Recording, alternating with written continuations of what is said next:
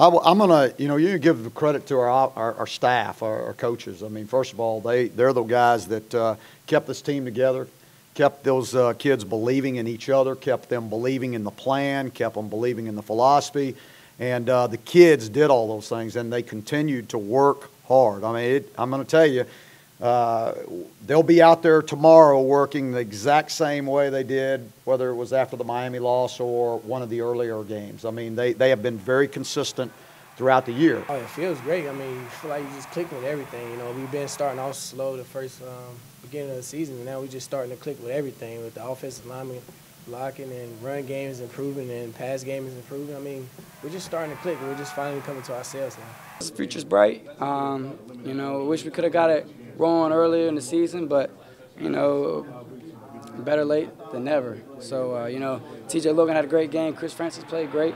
Uh, you know, it just says a lot about where this team is headed. Uh, the, the shift of culture that Coach Fedora uh, is, is, bringing to the program, and, and, you know, we're all excited to be a part of it.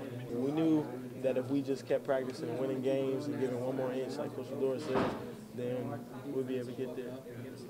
The future's bright for us. I mean, we got an incredible, incredible future coming, and the guys, they're not, they're not freshmen. To me, I mean, I just look at them as playmakers. You know, Ryan Switzer, T.J. Logan, Khris Francis, Bug Howard. I mean, the guys can play football. You know, that's why I tell them every day. You just got to think back in high school. You know, that's why I told told coaches today. I was just going to think back to my senior night of high school of Mallard Creek. Um, seven touchdowns I wanted to get. You know, I was trying to aim for it, but just got to think about as basic football and just playing the game. It, you never play a perfect football game. So, I mean, there's going to be plenty to teach off of and plenty to learn from. And we got a lot of guys, some reps. So, you know, we'll, we'll be able to, those, those guys will really learn from the experience they got. So that's, that's a good situation for them.